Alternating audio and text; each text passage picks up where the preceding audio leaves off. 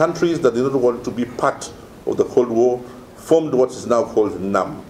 They're a serious group of company, uh, countries. They, they, are the major uh, uh, group of countries in the United Nations, and they're a formidable force if it comes to, uh, if we have to take a vote in the General Assembly in, in, the, in the United Nations, they're a force that can be reckoned with.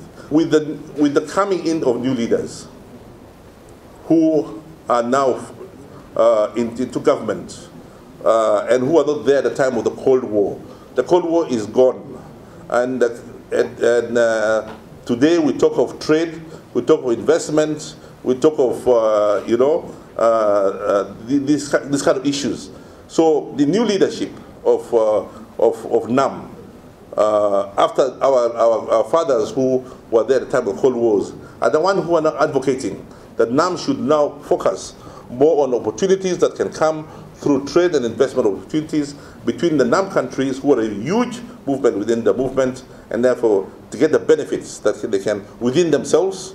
Because one of the outcomes of the of the senior uh, officials meeting was the examination of the global financial system. How can we examine the, uh, uh, how can we restructure the global financial system to advantage the NAM uh, members uh, now that uh, NAM is up for reform now NAM wants to uh, wants to take charge of his direction. NAM wants to be a force to be reckoned with in the international community. NAM wants to be heard.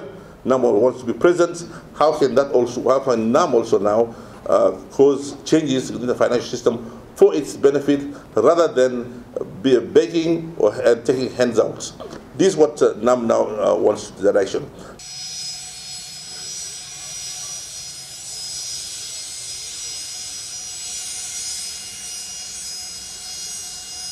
you